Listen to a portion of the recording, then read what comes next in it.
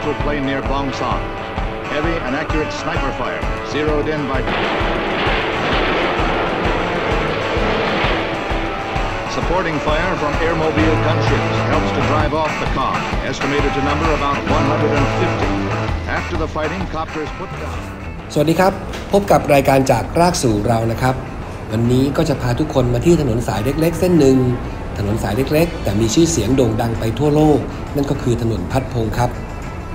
ถนนพัดพงเองเป็นถนนที่ตัดเชื่อมระหว่างถนนสุรวงศ์และถนนสีลมนะครับ ซึ่งในอดีตก็มีชาวจีนคนหนึ่งที่ชื่อว่าหลวงพัดพงพาณิชย์ หรือจีนพัดนะครับ เป็นชาวจีนไหหล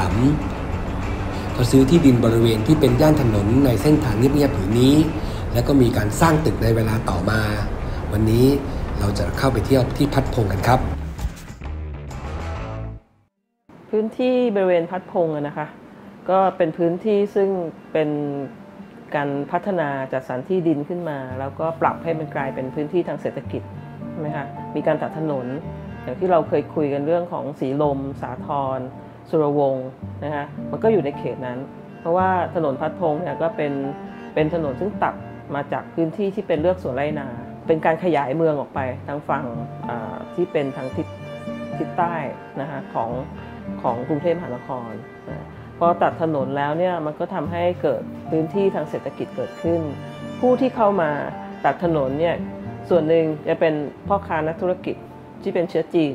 อีกส่วนหนึ่งก็จะเป็นขุนนาง เป็นข้าราชการนะครับที่มองเห็นการไกลว่าพื้นที่ต่างๆเนี่ยสามารถจะจัดสรรอะไรต่ออะไรได้ ก็คือผู้มีเชื้อสายจีนนะคะกล่าวว่าเป็นคนเชื้อสายไหหลำหลวงพัดพงพาณิชย์เนี่ยนะคะในตระกูลพัดพงพาณิชย์เนี่ยก็ถือว่าเป็น ผู้หนึ่งที่บุกเบิกตัวอำเภอบ้านหมอขึ้นมาในยุคในยุคที่เส้นทางรถไฟกุยทางไปแล้วพอหลังจากนั้นก็เข้ามาทำทำธุรกิจในกรุงเทพนะคะแล้วก็มาแต่งงานกับลูกสาวของเจ้าของที่ดินในบริเวณย่านนั้นนะแล้วก็ตัดถนนขึ้นมาก็กลายเป็นถนนพัดพงษ์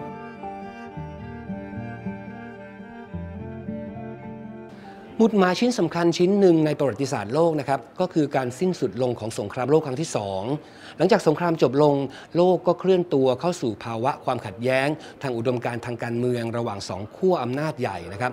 ฝ่ายหนึ่งก็คือฝ่ายเสรีประชาธิปไตย ซึ่งมีพี่ใหญ่ก็คืออเมริกัน อีกฝ่ายหนึ่งคอมมิวนิสต์ก็มีโซเวียตนะครับเรารู้ดีว่าในช่วงนั้นเนี่ยเราเรียกว่าช่วงสงครามเย็น หรือว่า Cold Warเดี๋ยวเราเข้าไปดูกันครับ ว่าโควอร์เนี่ยส่งผลกระทบอะไรกับเมืองไทยของเราบ้างไปครับ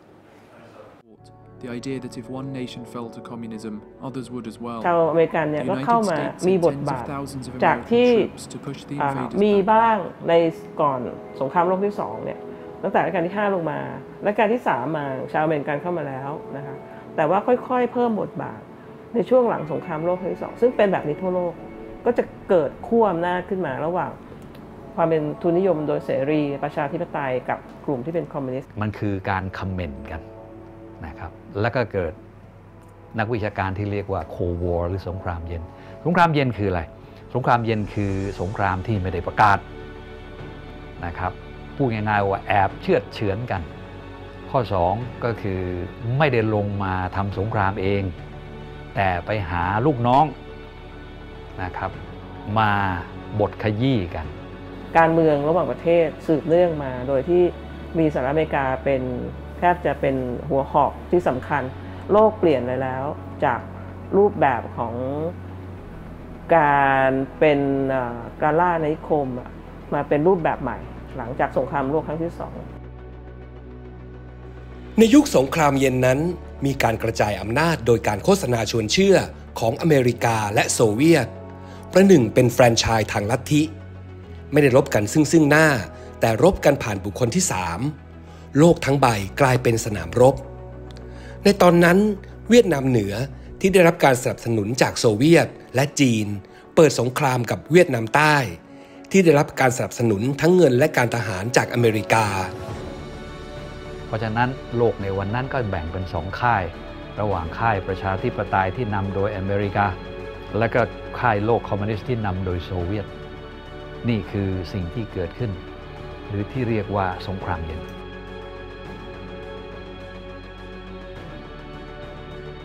ในระหว่างสงครามโลกครั้งที่สองมันเกิดหน่วยงาน ซึ่งมีอยู่แล้วนะครับของอเมริกาที่เรียกว่า OSS Office of Strategic Service มันก็คือหน่วยข่าวกรอง OSS เข้ามาอยู่ในประเทศไทย โดยความร่วมมือกับกลุ่มเสรีไทยนะครับเสรีไทยก็คือนักเรียนไทยที่ไปอยู่ในอเมริกาก้อนหนึ่งอยู่ในอังกฤษก้อนหนึ่งเราพูดถึงก้อนที่อยู่ในอเมริกาก็ OSS ก็ได้จับมือกับนักเรียนไทยกลุ่มนี้ให้กลับเข้ามาในประเทศไทย เพื่อทำหน้าที่ในการกำหนด และชี้เป้าหมายทิ้งระเบิด ใส่ที่มั่นที่หมายของทหารญี่ปุ่น นี่คือบทบาทของไทยที่เข้าไปอยู่ตรงนั้น เพราะฉะนั้นหน่วยข่าว OSS เนี่ยถือว่ามีความแนบแน่นกับไทย แล้วก็ OSS เนี่ยต่อมาก็คือ CIA หลังสงครามโลกครั้งที่สองสิ้นสุดลงนะครับ พัดพงศ์ก็ถึงจุดเปลี่ยน เมื่อนายอุดมพัดพงศ์พาณิชย์ บุตรชายของหลวงพัดพงศ์พาณิชย์เรียนจบ แล้วก็กลับมาจากต่างประเทศ กลับมาพัฒนาที่ดินพัฒนาธุรกิจของตระกูลนะครับเขาก็ได้สร้างอาคารพาณิชย์ขึ้นในบริเวณนี้ แล้วก็ปล่อยให้คนเข้ามาเช่าเข้ามาลงทุนเปิดบริษัทนะครับ มีบริษัทเข้ามาเช่าที่เนี่ยมากมายเลยฮะส่วนใหญ่ก็จะเป็นบริษัทข้ามชาติ ไม่ว่าจะเป็น IBM Shell Caltex Pan American หรือ Pan Am นะครับ แล้วก็ยังมีเวียดนาม Airlines Japanese Airlines นะครับ ที่สำคัญครับ มีบริษัทบริษัทหนึ่งครับ ชื่อว่า Civil Air Transport ซึ่งเป็นสำนักงานของหน่วยข่าวกรองของอเมริกา ที่คนทั่วโลกรู้จักกันดีในชื่อสั้นๆว่า CIA ไงครับ สิ่งต่างๆที่ทำให้อเมริกาใช้ไทยนะครับเป็นป้อมค่าย เป็นฐานทัพเนี่ยมันเกิดขึ้นเพราะสงครามในลาว แล้วก็เวียดนาม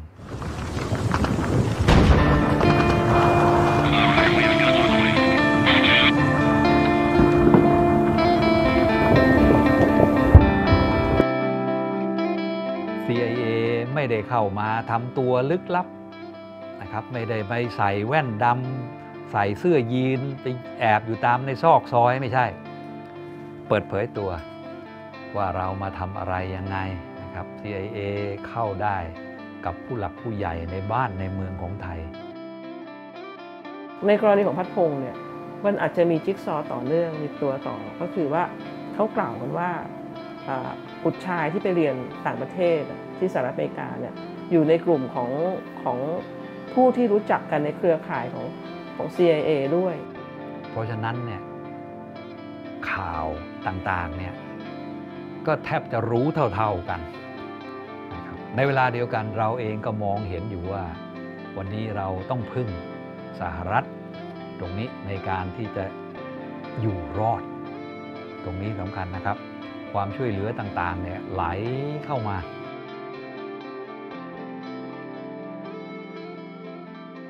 พัดพงศ์เนี่ยก็มีพื้นที่ของบริษัทห้างร้านที่เป็นบริษัทต่างชาติเข้ามาเช่าอยู่ นึกภาพกรุงเทพเมื่อ 5 60 ปีที่แล้วเนี่ยไม่มีนะครับ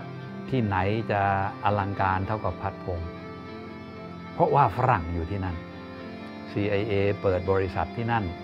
นะครับ C Supply แล้วก็ตั้งสำนักงานอยู่ที่นั่น รวมทั้งทางฝั่งที่เป็นซอยต่อเนื่องไปก็คือธนิยะก็มีกลุ่มญี่ปุ่นเข้ามาใช่ไหมคะจนปัจจุบันนี้ก็จะเป็นพื้นที่ซึ่งแบบเป็นร้านอาหารญี่ปุ่น เป็นพื้นที่ของกิจกรรม ของชาวญี่ปุ่นอะไรต่ออะไรไปในกรณีพัดพงศ์เนี่ยก็จะเป็นอย่างนี้มาก่อน ก็คือเป็นพื้นที่ทางธุรกิจมาก่อน เมื่อไรก็ตามถ้าฝรั่งเข้ามาอยู่ ลักษณะการกินกันอยู่นะครับ เรื่องของความบันเทิง เรื่องการติดต่อประสานงานต่างๆ มันก็จะเติบโตขึ้นมาเหมือนใส่ปุ๋ย วันนั้นพัดพงศ์เกิด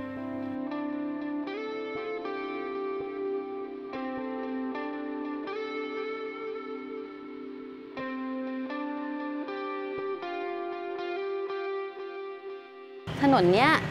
อ่าสมัยก่อนน่ะคือย่านความเจริญของของกรุงเทพเราครัอะบเริ่มจากตรงนี้เลยนะครับมันจะเป็นตึกออฟฟิศเป็นอะไรทั้งนั้น อย่างที่เห็นเนี่ยตึกสีชมพูอันเนี้ยอันนี้จะเป็น safe house ของ CIA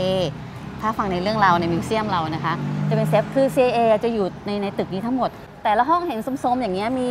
อ่างอาบน้ำทุกห้องเลย เครื่องทำน้ำอุ่นน้ำอุ่นมีทุกอติดย่าแองร์คอนดิชัน มีทุกอย่างแล้วก็มีอ่างอาบน้ำด้วยสมัยก่อนนึกครับดูสิว่า 50 กว่าปีที่แล้วอะแล้วถ้าบาร์ที่เห็นนั้นนั่นชื่อแมดริดบาร์ครับ แมดริดบาร์นี่เป็นอ่าพิซซ่าแห่งแรกในเมืองไทย อ๋อ ไม่ได้เป็นอัลโกโก้ไม่ได้เป็น ไม่เป็นบาร์เป็นบาร์ธรรมดาก็อ่าแล้วก็มีเคาน์เตอร์แล้วก็มีนั่ง CAA ก็จะนั่งเรียงกันเป็นเรียงเป็นแถแถวเลย แล้วก็ ไม่มีใครรู้อย่างที่บอกว่าเหมือนเหมือนอ่า businessman เขามานั่งคุยปรึกษาอะไรกันแต่จริง ๆ แล้วก็คือ CIA ทั้งหมดอ๋อร้านนี้เสียดายมาก ร้านนี้เพิ่งปิดไปได้ประมาณอ่าสองเดือน หลังจากที่เปิดมา 52 ปีค่ะ 52ก็แสดงปีว่าตึกเนี้ยหนึ่งสองสามสี่ห้าห้าห้องเนี้ยนะฮะก็คือเป็นทั้งเซฟเฮาส์ CIA ใช่ แล้วก็เป็นที่ hang out CIA ด้วย ก็คือที่ Madrid Barใช่ คือเขาจะ hang out ที่นี่เยอะสุดแต่จริง ๆ แล้วก็คือทุกบาร์ในเนี้ยที่เขาก็จะเปลี่ยนแปลงไปเรื่อยๆบาร์ คืนนี้อาจจะอยู่บาร์นี้คืนนี้อาจจะอยู่บาร์นั้นแต่ที่ main ของเขาก็คือตัวนี้ Madrid ซึ่งเสียดายมากเลยอยากให้คนไทยได้เข้ามาชมตรงนี้มากเพราะข้างในเขาแต่งสวยมาก แต่ตอนนี้เขาก็ปิดตัวไปแล้ว ตึกที่เห็นตึกสีน้ำตาลนี้ก็คือออฟฟิศของ CIA อ๋อเนี่ยซึ่งเหมือนว่าเขาจะอยู่ตรงนั้นอะเขาที่พัก แต่ว่าเขามาออฟฟิศตรงนี้ครับซึ่งก็คือเขาก็ก็ก็ไม่ไกลเนาะครับเราก็ไม่รู้ไม่รู้ว่าสมัยก่อนเป็นนั้นมันมีอุปกรณ์สื่อสารอะไรบ้างน่าจะเหมือนในหนังนะครับเราก็ไม่เคยเข้าไปดูข้างในนะ สิ่งที่ CIA เข้ามาทำก็คือตัว Bill Lair และก็ทีมงานนะครับ รวมทั้งท่านทูต Donovan นะครับ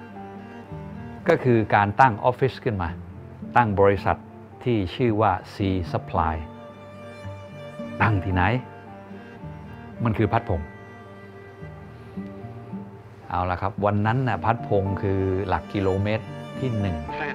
Phantoms take off from these bases daily to bomb targets in North ในช่วงส Vietnam. งครามเวียดนามนั้น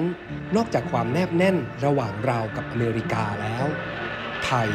ยังเป็นโดมิโนตัวสุดท้ายในภูมิภาคที่อเมริกาจะปล่อยให้ล้มไม่ได้ อเมริกาปักธงให้ไทยเป็นฐานที่มั่นในการที่จะต่อสู้กับคอมมิวนิสต์ สิ่งที่ตามมาก็คือ ฐานทัพอากาศเจ็ดแห่ง นครพนม อุบล อุดร โคราช ตาคลี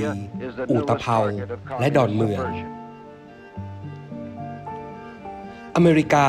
พยายามรักษาป้อมค่ายประเทศไทย เข้ามาสร้างกล้ามเนื้อ สร้างกระดูกให้กับทหารไทย เพื่อเข้าร่วมรบในสงครามครั้งนั้นด้วย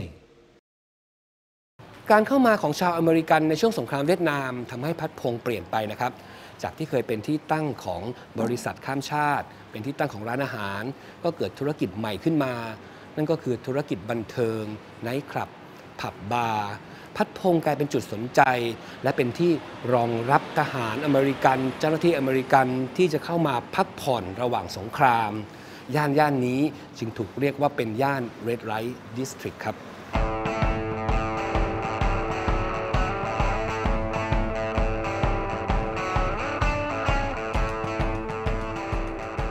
ทหารอเมริกัน ที่เกษียณแล้วก็มาคุกอยู่ในนี้ C A ก็อยู่ในนี้หลายตึกนะอยู่ที่ตึกหนึ่งนะตึกเชนอริแกนแล้วก็อยู่ที่ตึกอของอมาดริดนะฮะ CIA เงินเยอะนะครับ การกินการอยู่อะไรต่างๆเหล่านี้มันเป็นเรื่องที่เป็นวิถีของอเมริกัน บางคนเกษียณแล้วเนี่ยรัฐบาลมริกันให้ให้เงินบำนาญก็มาเปิดบาร์เปิดอะไรอย่างเช่นบาร์กลางปี ซึ่งเป็นอโกโก้บาร์แรกในปี 1969 พอ 1970 นี่จะเริ่มมีโชว์มาแล้วเขาเรียกจัมบะ หรือว่าไอ้ฟอโชว์แล้วก็ทำให้เกิดอ่อโกโก้กลามไปทั้งหมด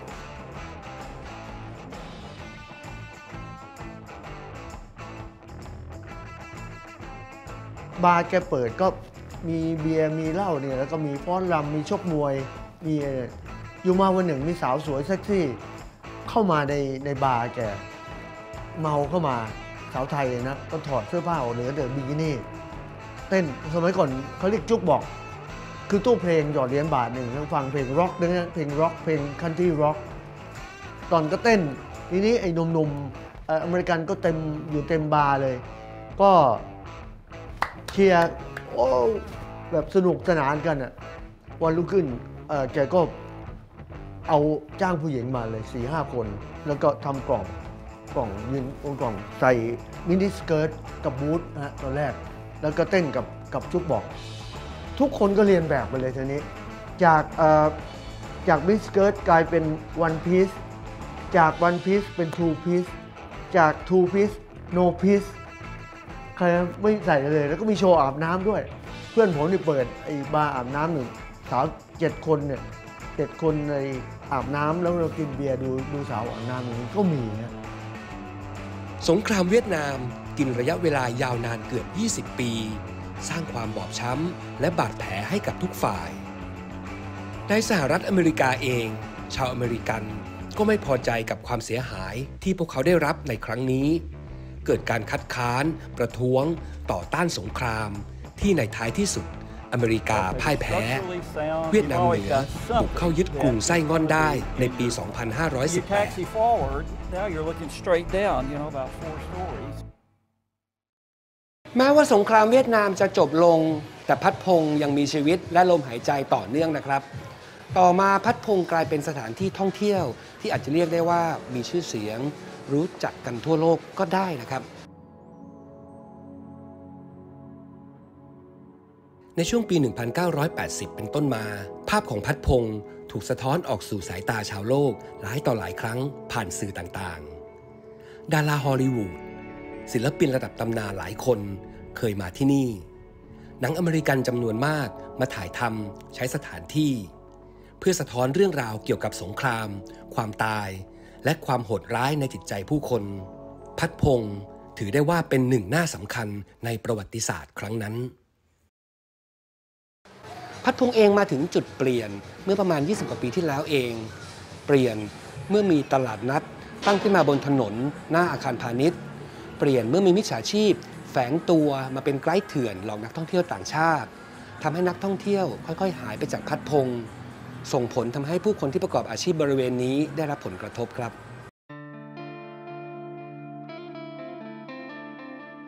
พัฒน์พงศ์เนี่ยซบเซาลงมาเยอะมาก จากพัฒน์พงศ์เนี่ยเคยเป็น red light district อันดับหนึ่งของกรุงเทพเลยเนาะแล้วก็ตามมาก็คือคาบอยแล้วก็นานา ตอนนี้กลับกลายเป็นว่านานาคาบอยแล้วก็พัดพง เนื่องจากว่าพัดพงมันเหมือนมีการไปหลอกเขาไปอะไรเขา มันชีตกันหรือว่าต้มกันเรื่องเรื่องโชว์ มันจะมีเขาเรียกไกด์ผี ไกด์ผีนี่มีประมาณ 200 คน ไกด์ผีว่าเอ้ยดูปิงปองโชว์ร้อยบาท แล้วก็ไปไถเงินเขา บางคนบอกว่าร้อยบาท 500 บาท มันจะมีเขาเรียกอีแรงลงกินดริงเข้ามา 5 คนแบบนี้ เช็คบินออกมา 3,000 บ้าง 6,000 บ้างหมื่นบ้าง หรือมากกว่านั้นอีก คือแต่ก่อนในยย่านเนี่ยของเราจะไม่เปิดรับคนไทยเลยอืมใช่คนก็จะมองว่าย่านเนี้ยเออเป็นที่ที่ไม่สมควรเข้ามา แต่ว่าจริงๆมันมีที่มาที่ไปนะคะ ว่าทำไมอ่าเราถามเจ้าของบาร์ว่าทำไมเขาถึงไม่รับคนไทยเขาบอกว่าเวลาคนไทยที่เข้ามาทานในบาร์เนี้ยเราคิดว่าตัวเองเป็นเจ้าถิ่น มีเรื่องพอเมาแล้วชอบมีเรื่อง มีเรื่องอืมเขาก็มีเรื่องกับฝรั่งพอมีเรื่องกับฝรั่งก็ทำให้เหมือนกับว่าเจ้าของร้านต้องเลือกแล้ว เจ้าของร้านก็ต้องเลือกต่างชาติอ่าใช่เพราะมันมีเรื่องเขาก็เลยบอกตอนหลังก็เลยตัดปัญหาว่า ขออนุญาตไม่รับคนไทยก็เลยถือว่าที่นี่ทำไมไม่ให้คนไทยเข้าจริงๆ มันมีลึกที่มาที่ไปจากเจ้าของบาร์นะคะอันที่ที่ไปถามมาใช่มันเกือบจะเป็นที่ช่วงที่น่ากลัวน่ากลัวนะคะ ติดหนึ่งใน 10 สถานที่ไม่น่ามาของกรุงเทพนะคะ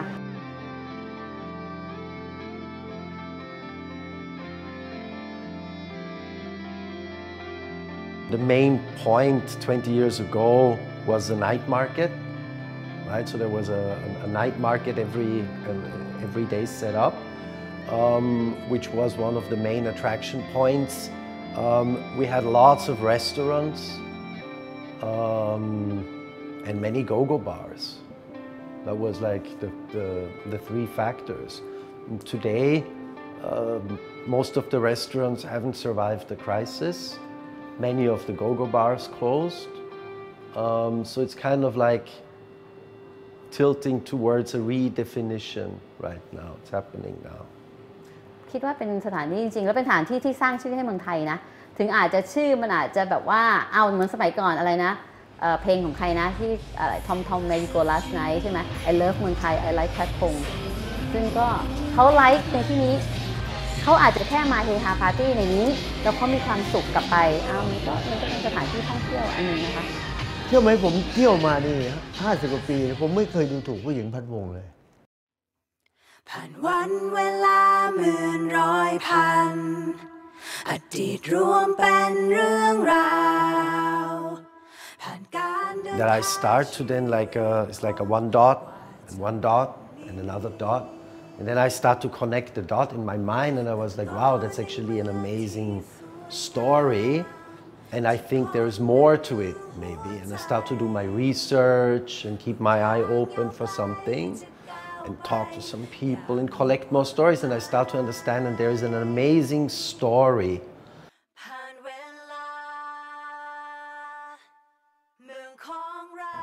I think what I'm what I what I like to see yeah and what is already happening is both like maybe in the same direction that Pat Pong now be, belongs more to the context of